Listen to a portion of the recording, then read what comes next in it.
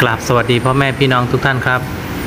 ตอนนี้เราพามาอัปเดตสถานการณ์น้ำหลังจากที่เมื่อเช้า เราพาไปดูช่วงใต้สะพานนะครับ น้ำก็เป็นพริมถนนนะครับ แต่ว่าตอนนี้เพิ่มปริมาณสูงขึ้นกว่าเดิมนะครับ มวลน้ำก็เริ่มไหลมาเยอะขึ้นครับ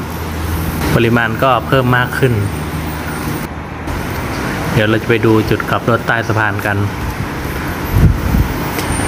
ฝั่งตรงข้ามก็จะเป็นโรงเรียน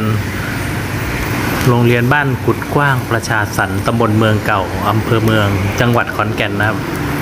น้ำเริ่มท่วมถนนบริเวณจุดกลับรถใต้สะพานแล้วนะครับ แต่ว่ารถเล็กรถใหญ่รถทุกชนิด ก็ตอนนี้ยังสัญจรไปมาได้อยู่นะครับ ตอนนี้ก็เป็นเวลาเลิกงานนะครับรถเล็กรถใหญ่ก็สัญจรไปมาได้ตามปกติ คุณลุงคนนี้ก็กำลัง หาปลาครับ